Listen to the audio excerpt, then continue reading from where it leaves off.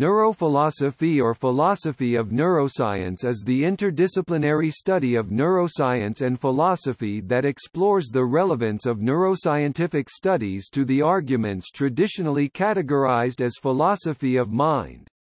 The philosophy of neuroscience attempts to clarify neuroscientific methods and results using the conceptual rigor and methods of philosophy of science.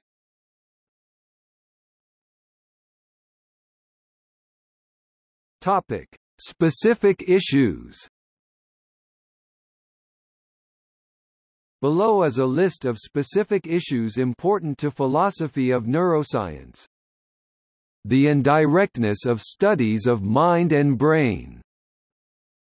Computational or representational analysis of brain processing. Relations between psychological and neuroscientific inquiries. Modularity of mind What constitutes adequate explanation in neuroscience? Location of cognitive function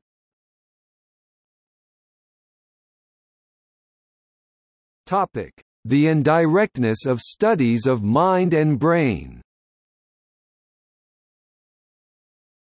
Many of the methods and techniques central to neuroscientific discovery rely on assumptions that can limit the interpretation of the data. Philosophers of neuroscience have discussed such assumptions in the use of functional magnetic resonance imaging, dissociation in cognitive neuropsychology, single-unit recording, and computational neuroscience. Following are descriptions of many of the current controversies and debates about the methods employed in neuroscience.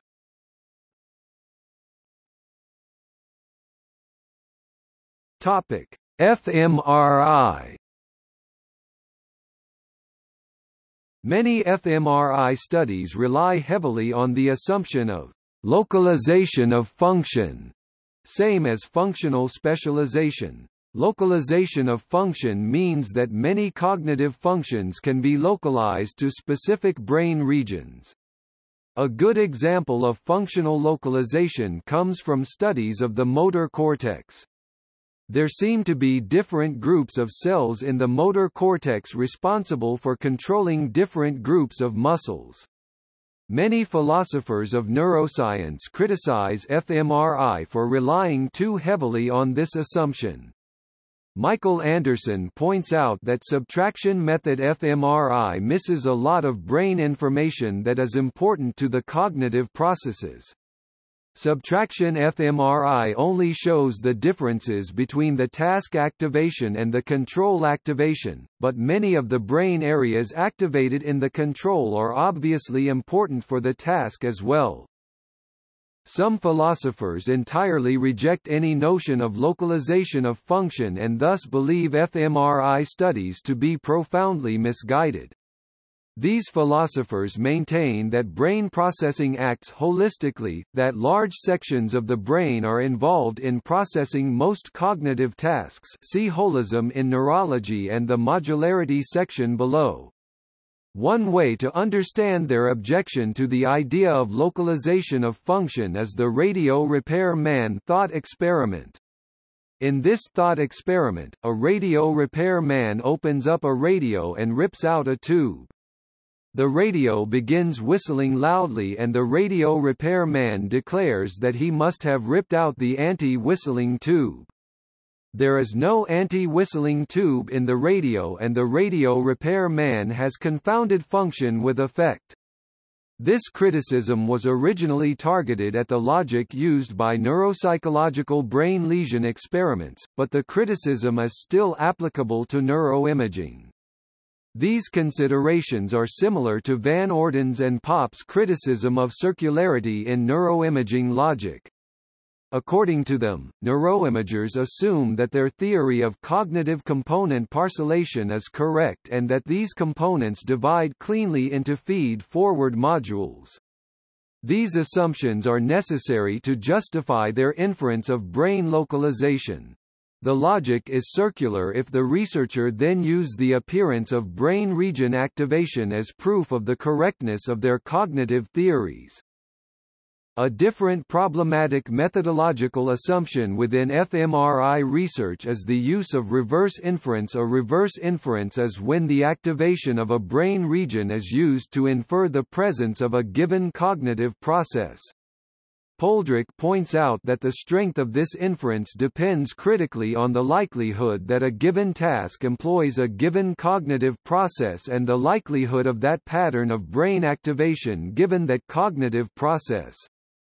In other words, the strength of reverse inference is based upon the selectivity of the task used as well as the selectivity of the brain region activation.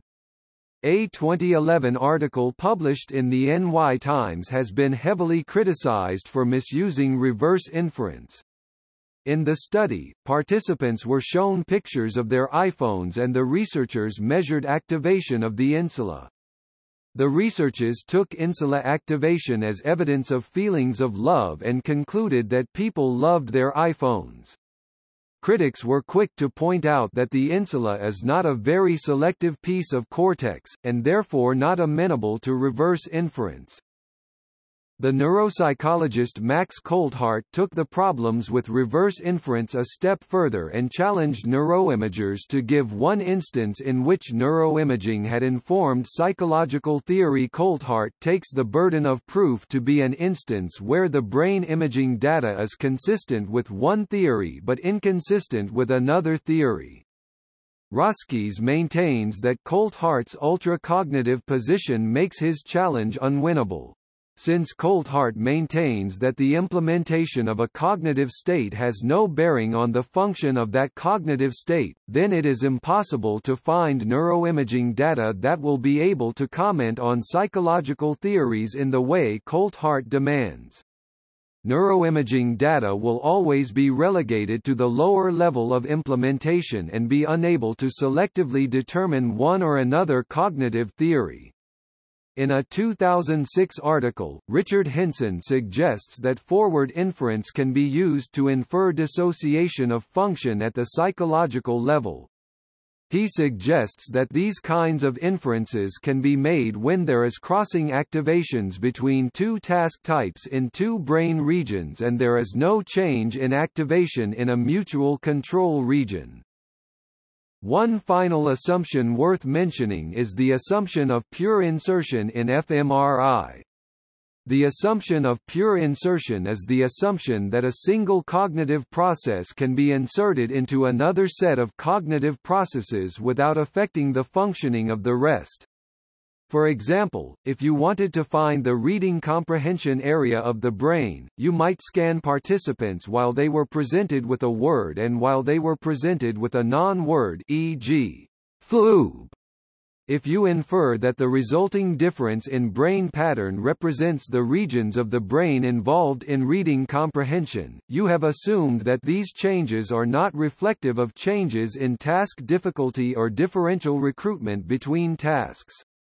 The term pure insertion was coined by Donders as a criticism of reaction time methods.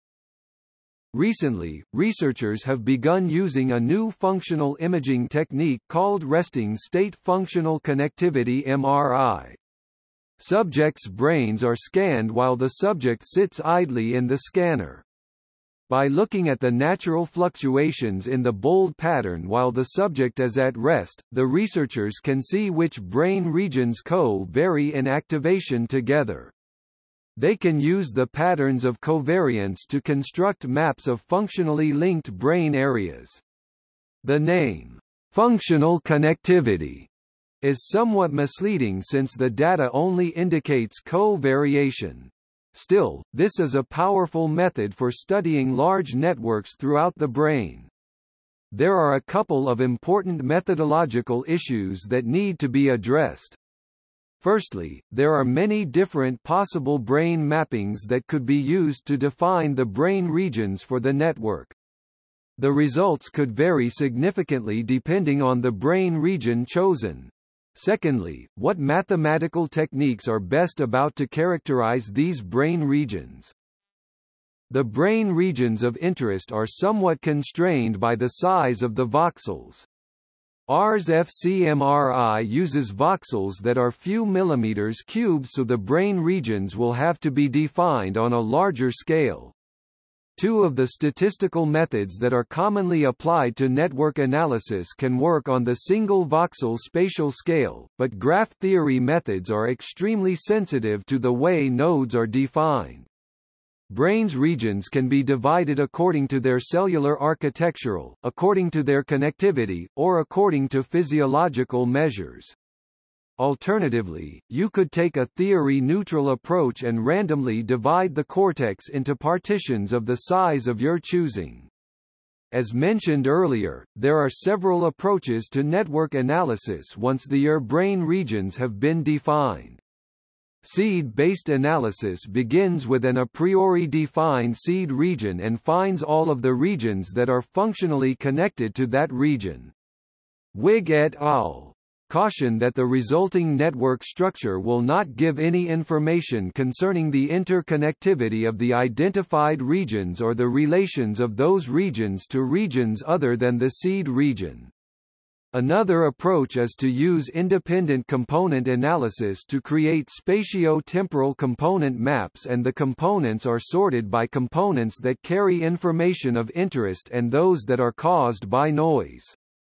Wiggs et al. once again warns that inference of functional brain region communities is difficult under ICA. ICA also has the issue of imposing orthogonality on the data. Graph theory uses a matrix to characterize covariance between regions which is then transformed into a network map. The problem with graph theory analysis is that network mapping is heavily influenced by a priori brain region and connectivity nodes and edges, thus the researcher is at risk for cherry-picking regions and connections according to their own theories. However, graph theory analysis is extremely valuable since it is the only method that gives pair-wise relationships between nodes. ICA has the added advantage of being a fairly principled method. It seems that using both methods will be important in uncovering the network connectivity of the brain. Mumford et al. hope to avoid these issues and use a principled approach that could determine pair-wise relationships using a statistical technique adopted from analysis of gene co-expression networks.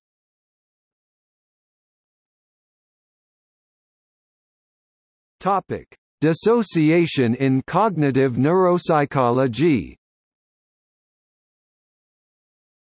Cognitive neuropsychology studies brain-damaged patients and uses the patterns of selective impairment in order to make inferences on the underlying cognitive structure. Dissociation between cognitive functions is taken to be evidence that these functions are independent. Theorists have identified several key assumptions that are needed to justify these inferences, 1. Functional modularity The mind is organized into functionally separate cognitive modules. 2. Anatomical modularity The brain is organized into functionally separate modules. This assumption is very similar to the assumption of functional localization.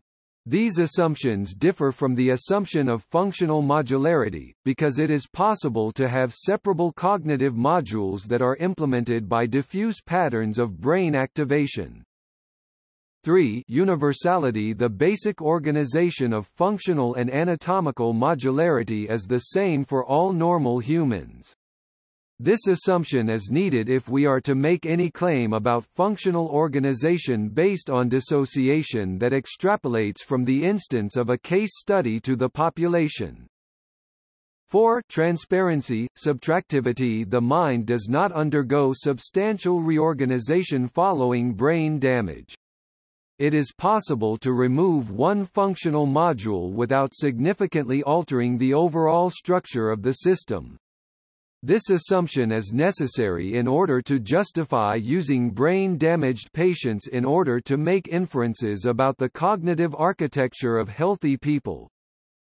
There are three principal types of evidence in cognitive neuropsychology, association, single dissociation and double dissociation. Association inferences observe that certain deficits are likely to co-occur. For example, there are many cases who have deficits in both abstract and concrete word comprehension following brain damage. Association studies are considered the weakest form of evidence, because the results could be accounted for by damage to neighboring brain regions and not damage to a single cognitive system. Single dissociation inferences observe that one cognitive faculty can be spared while another can be damaged following brain damage. This pattern indicates that a the two tasks employ different cognitive systems b the two tasks occupy the same system and the damaged task is downstream from the spared task or c that the spared task requires fewer cognitive resources than the damaged task.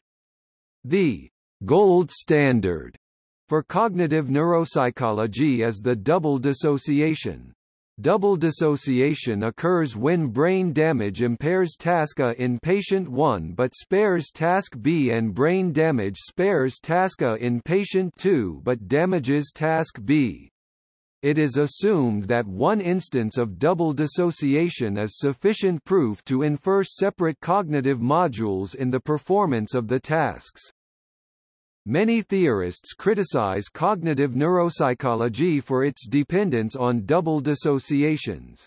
In one widely cited study, Juola and Plunkett used a model connectionist system to demonstrate that double dissociation behavioral patterns can occur through random lesions of a single module. They created a multilayer connectionist system trained to pronounce words. They repeatedly simulated random destruction of nodes and connections in the system and plotted the resulting performance on a scatter plot. The results showed deficits in irregular noun pronunciation with spared regular verb pronunciation in some cases and deficits in regular verb pronunciation with spared irregular noun pronunciation.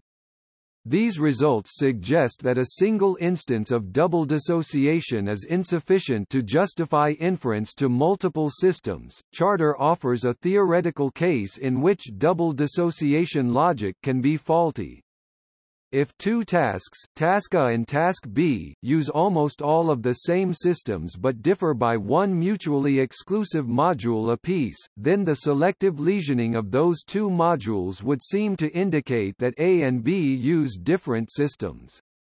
Chater uses the example of someone who is allergic to peanuts but not shrimp and someone who is allergic to shrimp and not peanuts. He argues that double dissociation logic leads one to infer that peanuts and shrimp are digested by different systems. John Dunn offers another objection to double dissociation. He claims that it is easy to demonstrate the existence of a true deficit but difficult to show that another function is truly spared. As more data is accumulated, the value of your results will converge on an effect size of zero, but there will always be a positive value greater than zero that has more statistical power than zero. Therefore, it is impossible to be fully confident that a given double dissociation actually exists. On a different note, Alfonso Caramazza has given a principled reason for rejecting the use of group studies in cognitive neuropsychology. Studies of brain-damaged patients can either take the form of a single case study, in which an individual's behavior is characterized and used as evidence, or group studies, in which a group of patients displaying the same deficit have their behavior characterized and averaged. In order to justify grouping a set of patient data together, the researcher must know that the group is homogeneous, that their behavior is equivalent in every theoretically meaningful way.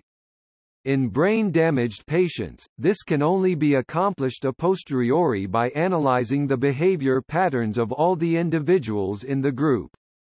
Thus according to Caramazza, any group study is either the equivalent of a set of single case studies or is theoretically unjustified.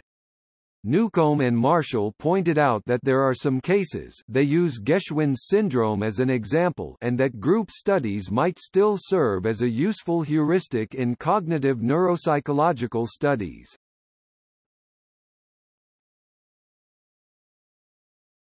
Topic: Single unit recordings. It is commonly understood in neuroscience that information is encoded in the brain by the firing patterns of neurons. Many of the philosophical questions surrounding the neural code are related to questions about representation and computation that are discussed below. There are other methodological questions including whether neurons represent information through an average firing rate or whether there is information represented by the temporal dynamics. There are similar questions about whether neurons represent information individually or as a population.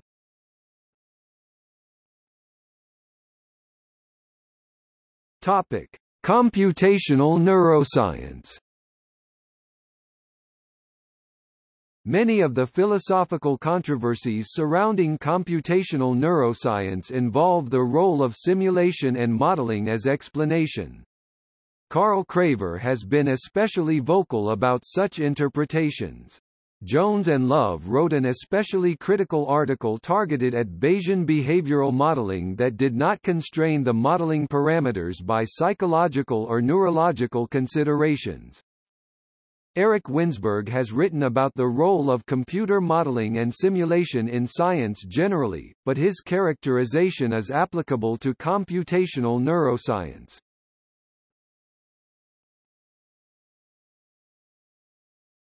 Topic: Computation and representation in the brain. The computational theory of mind has been widespread in neuroscience since the cognitive revolution in the 1960s. This section will begin with a historical overview of computational neuroscience and then discuss various competing theories and controversies within the field.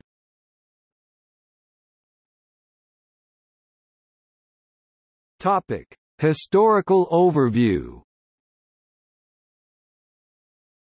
Computational neuroscience began in the 1930s and 1940s with two groups of researchers.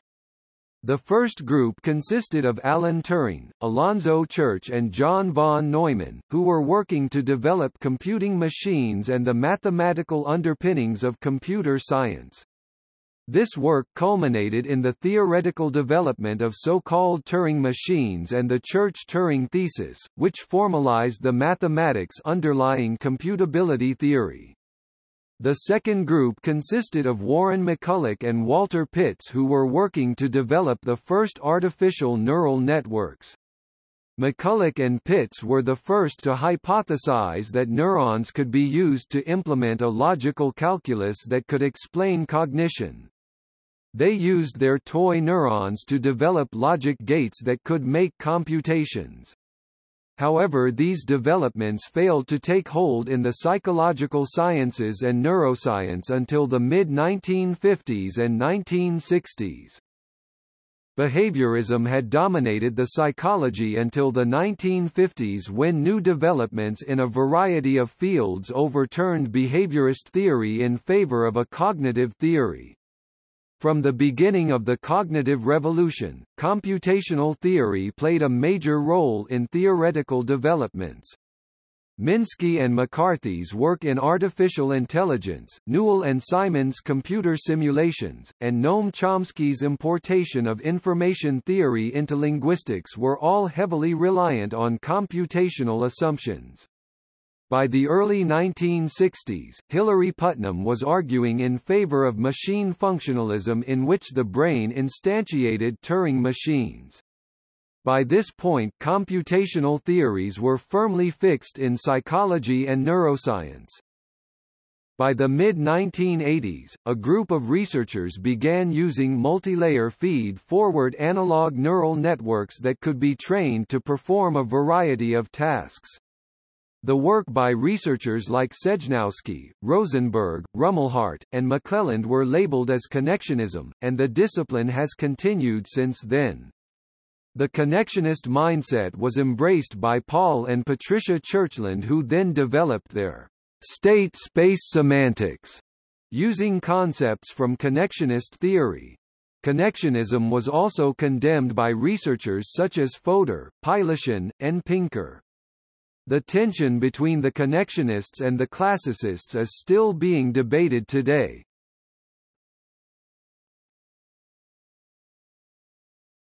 Topic: Representation One of the reasons that computational theories are appealing is that computers have the ability to manipulate representations to give meaningful output. Digital computers use strings of ones and zeros in order to represent the content such as this Wikipedia page. Most cognitive scientists posit that our brains use some form of representational code that is carried in the firing patterns of neurons. Computational accounts seem to offer an easy way of explaining how our brains carry and manipulate the perceptions, thoughts, feelings, and actions that make up our everyday experience. While most theorists maintain that representation is an important part of cognition, the exact nature of that representation is highly debated. The two main arguments come from advocates of symbolic representations and advocates of associationist representations. Symbolic representational accounts have been famously championed by Fodor and Pinker. Symbolic representation means that the objects are represented by symbols and are processed through rule-governed manipulations that are sensation to the constitutive structure. The fact that symbolic representation is sensitive to the structure of the representations is a major part of its appeal. Fodor proposed the language of thought hypothesis in which mental representations manipulated in the same way that language is syntactically manipulated in order to produce thought. According to Fodor, the language of thought hypothesis explains the systematicity and productivity seen in both language and thought. Associativist representations are most often described with connectionist systems. In connectionist systems, representations are distributed across all the nodes and connection weights of the system and thus are said to be sub-symbolic. It is worth noting that a connectionist system is capable of implementing a symbolic system. There are several important aspects of neural nets that suggest that distributed parallel processing provides a better basis for cognitive functions than symbolic processing.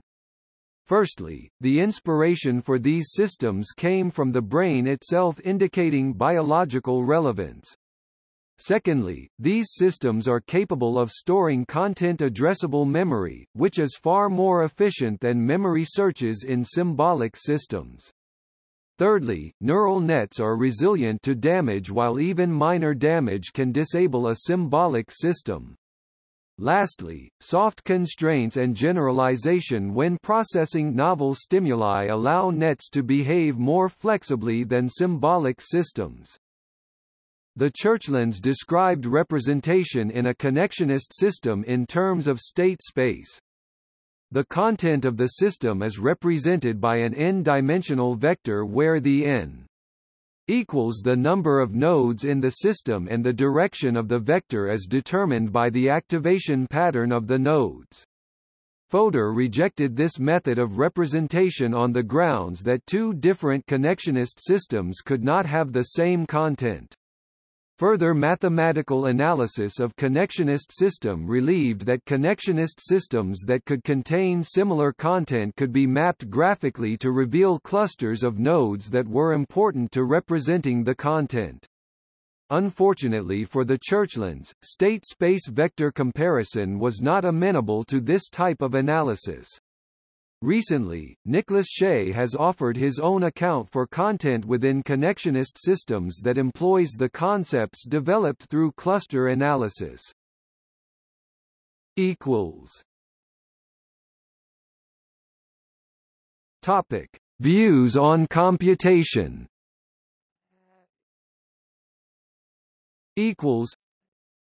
Computational neuroscience is committed to the position that the brain is some sort of computer, but what does it mean to be a computer? The definition of a computation must be narrow enough so that we limit the number of objects that can be called computers. For example, it might seem problematic to have a definition wide enough to allow stomachs and weather systems to be involved in computations. However, it is also necessary to have a definition broad enough to allow all of the wide varieties of computational systems to compute. For example, if the definition of computation is limited to syntactic manipulation of symbolic representations, then most connectionist systems would not be able to compute. Rick Grush distinguishes between computation as a tool for simulation and computation as a theoretical stance in cognitive neuroscience.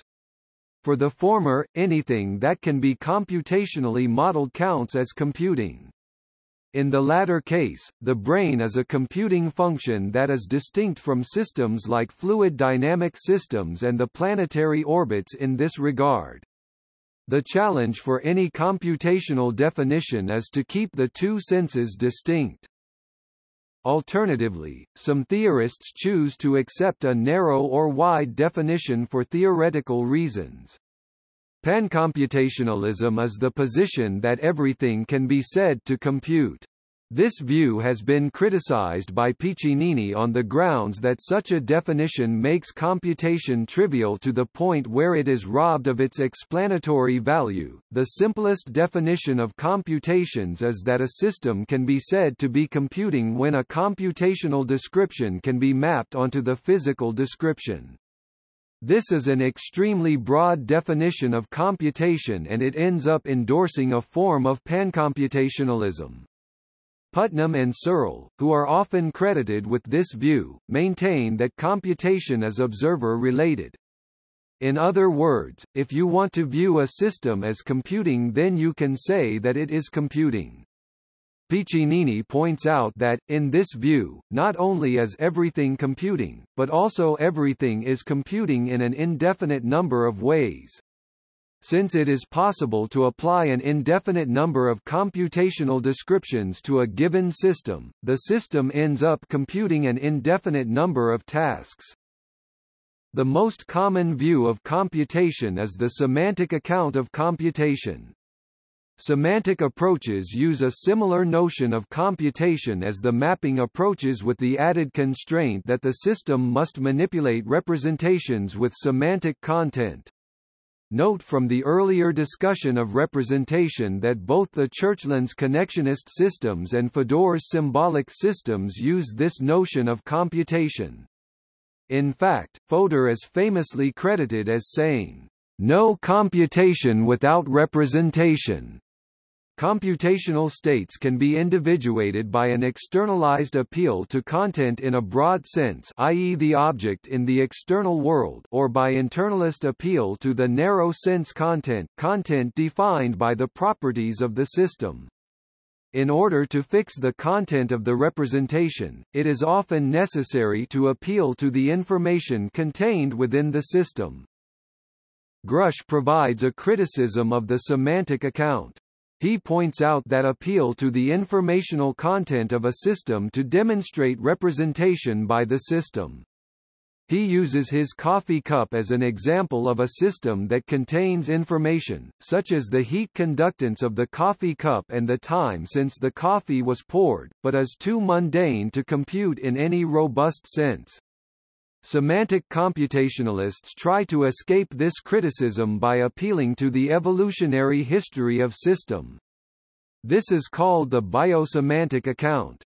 Grush uses the example of his feet, saying that by this account his feet would not be computing the amount of food he had eaten because their structure had not been evolutionarily selected for that purpose. Grush replies to the appeal to biosemantics with a thought experiment. Imagine that lightning strikes a swamp somewhere and creates an exact copy of you. According to the biosemantic account, this swamp you would be incapable of computation because there is no evolutionary history with which to justify assigning representational content. The idea that for two physically identical structures one can be said to be computing while the other is not should be disturbing to any physicalist. There are also syntactic or structural accounts for computation. These accounts do not need to rely on representation. However, it is possible to use both structure and representation as constraints on computational mapping. Shagrir identifies several philosophers of neuroscience who espouse structural accounts. According to him, Fodor and Pylyshyn require some sort of syntactic constraint on their theory of computation. This is consistent with their rejection of connectionist systems on the grounds of systematicity. He also identifies Piccinini as a structuralist quoting his 2008 paper, The Generation of Output Strings of Digits from Input Strings of Digits in accordance with a general rule that depends on the properties of the strings and possibly on the internal state of the system. Though Piccinini undoubtedly espouses structuralist views in that paper, he claims that mechanistic accounts of computation avoid reference to either syntax or representation. It is possible that Piccinini thinks that there are differences between syntactic and structural accounts of computation that Shagrir does not respect. In his view of mechanistic computation, Piccinini asserts that functional mechanisms process vehicles in a manner sensitive to the differences between different portions of the vehicle, and thus can be said to generically compute. He claims that these vehicles are medium independent, meaning that the mapping function will be the same regardless of the physical implementation. Computing systems can be differentiated based upon the vehicle structure and the mechanistic perspective can account for errors in computation. Dynamical systems theory presents itself as an alternative to computational explanations of cognition. These theories are staunchly anti-computational and anti-representational. Dynamical systems are defined as systems that change over time in accordance with a mathematical equation. Dynamical systems theory claims that human cognition is a dynamical model in the same sense computationalists claim that the human mind is a computer. A common objection leveled at dynamical systems theory is that dynamical systems are computable and therefore a subset of computationalism. Van Gelder is quick to point out that there is a big difference between being a computer and being computable. Making the definition of computing wide enough to incorporate dynamical models would effectively embrace pancomputationalism.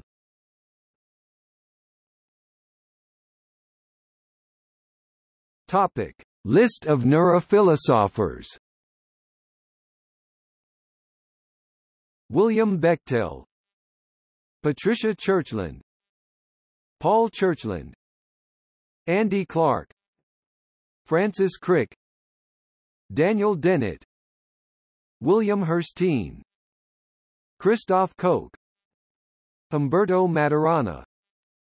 Thomas Metzinger Jesse Prinz Heidi Rabin Torsten de Winkel Francisco Varela Nayef Al-Rodhan Kathleen Akins Georg Northoff Topic. See also. Cognitive neuroscience Eliminative materialism Epiphenomenalism Functionalism Multiple realizability Neuroethics Neurophenomenology Neuropsychology Philosophy of biology Philosophy of psychology. Reduction Notes